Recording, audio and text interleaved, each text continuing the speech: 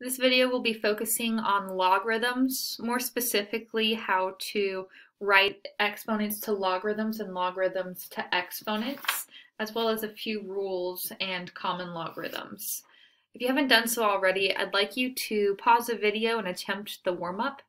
If you have already attempted it, uh, we have asked you to solve 2 to what power gives you 8.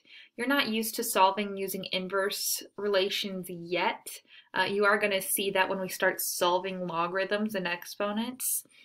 But for now, the way I was hoping you would think is I'm asking 2 to what power gives me 8?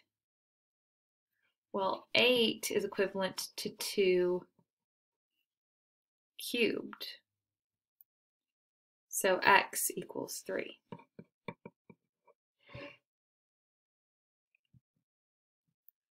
We can write exponential functions or equations as logarithmic equations and vice versa. So logarithmic to exponential. There's different ways that um, teachers can teach this. I do what I call the circle trick. It just tells me the order to write it. So let's say I start with an exponential equation. I start at my base, draw an arrow to the solution, and start at the solution, drawing an arrow to the exponent. So this tells me what order I'm going to write it in the logarithm. It's log base b of a equals x. B came first, then A, then X, which I see here. And if you started with the logarithm, just go in order, creating a circle. Start at the base, always start at the base. So B to the power of X gives me A. B to the power of X gives me A. Let's try it again. Let's say I want to start with 2 to the 6th power equals 64. 2 to 64 to 6. So that's how I'm going to draw my circle. That tells me the order that I'm going to plug it in to my logarithm. So it's log base b, the base was 2, of a, which was 64, gives me x, the exponent, 6. Now let's try going from the logarithm to the exponent. 4 to the power of 1 will give me 4. 4 to the power of 1 will give me 4. Let's do it again. 5 to the 0 power will give me 1. 5 to the 0 power will give me 1. I'm going to star these and label them A and B because we're going to come back to those later. Next, I'm just going to keep doing the pattern, okay? I'm going to go a little bit faster. Drawing my arrows, I can see that this becomes log base b, which was 5, of a, which is 1 25th, will equal negative 2. Drawing my circle once again, I see I have log base b, which was 3 of a, which was 81, equals x. Going from a logarithm to an exponent, doing the circle trick, starting at the base, going to x and then a, I get 10 squared equals 100. Circle trick once again shows me how to write it. Log base b of 7, a is 49, the exponent was 2. Once again, I have log base 5 of 5 equals 1. And then circle trick once again, 12 to 0 power equals 1. Starring my last two. Oops, I'm so sorry. I didn't realize you couldn't see that. If you need to pause the video and write that, um, go ahead and do so. But I'm going to star the last two and label them C and D. So I have a, B, C, and D. If you're taking a look at those, um, I want to point out that these are special rules. So essentially what it's saying is um, whenever you have your base match what we're taking the logarithm of, it will always equal 1. So we could see log base 4 of 4 is 1. Log base 5 of 5 is 1. So that's this rule right here. I want you to put A and C. So again, that was log base 4 of 4 is 1, log base 5 of 5 is 1. We also have a rule that says whenever we take the logarithm, and that's any logarithm, so any base, of 1, we'll always get 0. We can see that here. Log base 5 of 1 was 0. But that was also true for log base 12 of 1, giving me 0.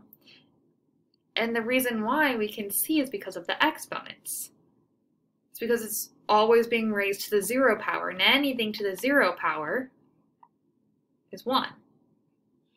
So, for this one, I want you to put B and D.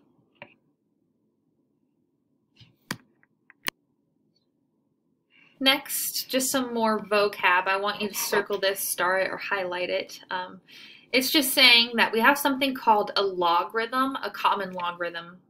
Um, and a common logarithm is a log with a base 10. So if I ever see something that just says log of a number, it doesn't specifically declare what the base is. It's understood to be 10. So once again, the common logarithm looks something like this. It's where they just put log of some number.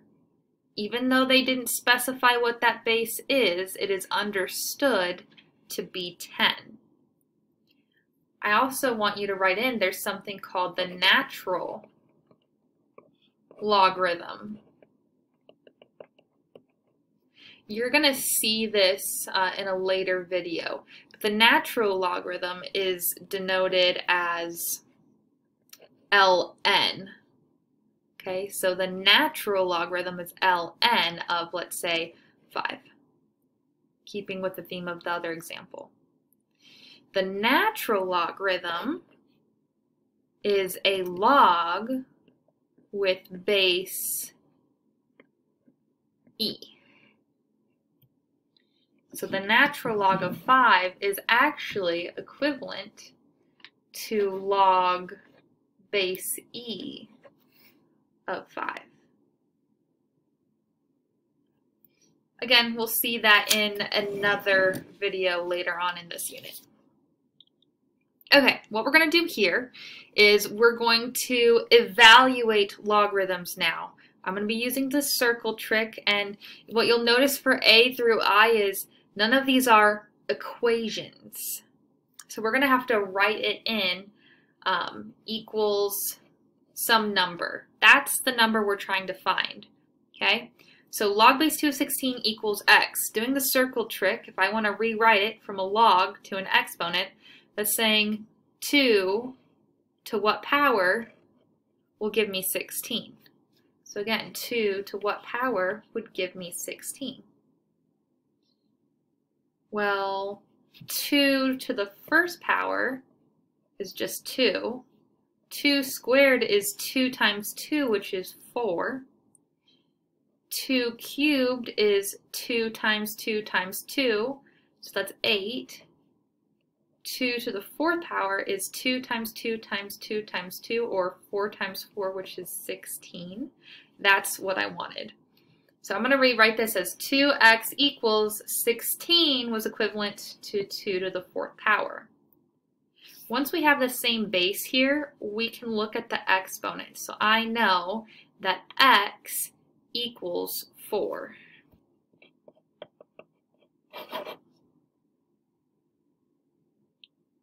Let's try it again. Part B. Again, I need to make this an equation.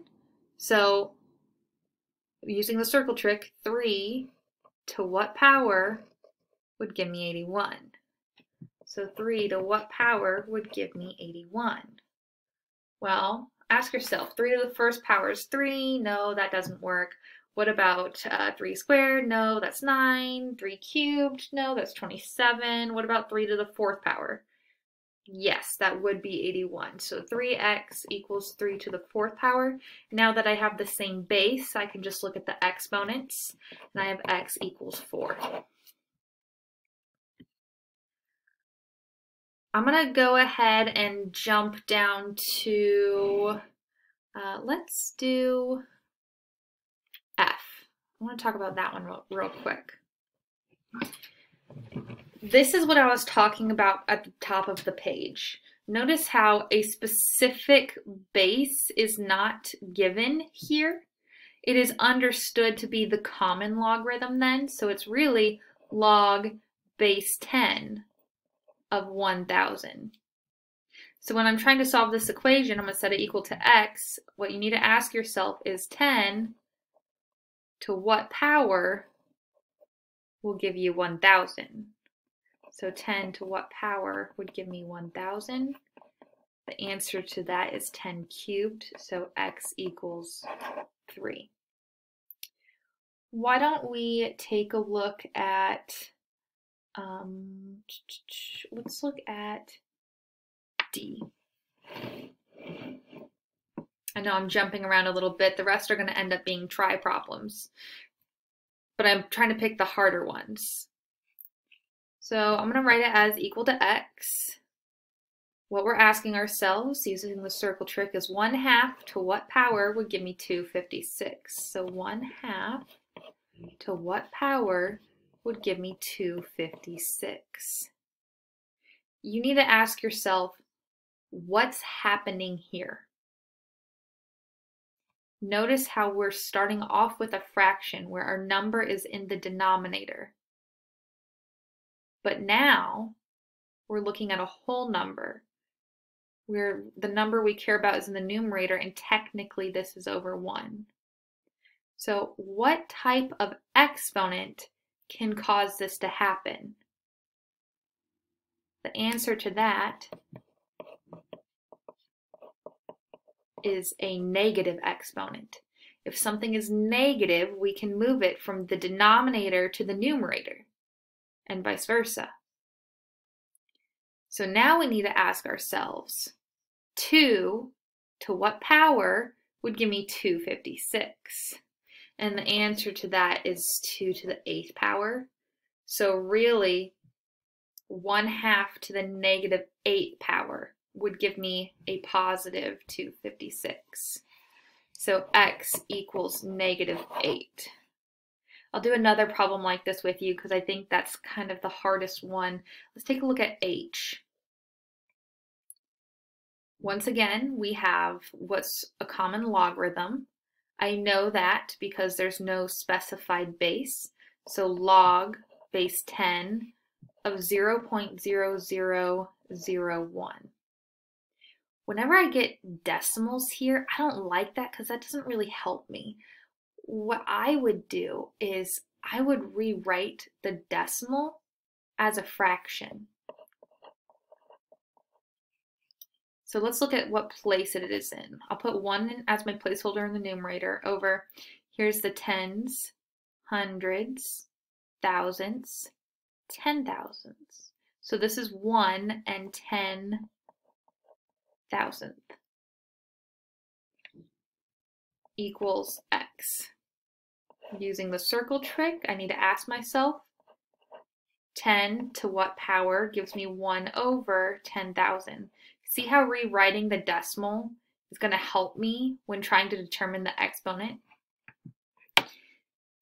What would cause a whole number to turn into a fraction? Well, a negative exponent would do that. So I know it's going to be 10 to some negative power. 10 to what power would give me 10,000? The answer to that is a 4. So x equals negative 4. I would like you to pause the video and try the other problems. Hit play to check your answers. Pause the video and check E and G. Pause the video and check C and I.